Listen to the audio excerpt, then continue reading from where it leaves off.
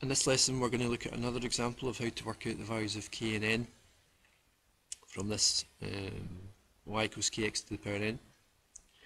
So we'll start with this. The relationship between two variables is in the form y equals kx to the n. An experiment to test this relationship produced the data shown in the graph where log y to the base 10 is plotted against log x to the base 10. So in this example we're told the gradient and we've got the intercept here.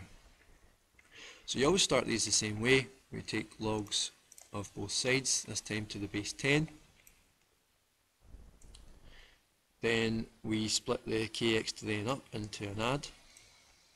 So log k to the base 10 plus log x to n to the base 10. Take your n down and have it like this. So n's your gradient and this is your intercept. So we look up here and the gradient's 4 and the intercept's 1.2 so this is equal to 1.2. So again to work out the value of k 10 is your base 1.2 is your power. So 10 to the power 1.2 if you take that into your calculator you'll get 15.8. So we can rewrite.